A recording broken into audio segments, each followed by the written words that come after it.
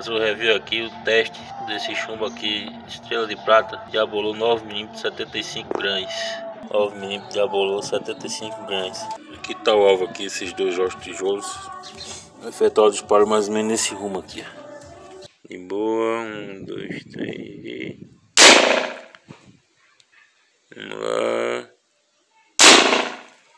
Agora.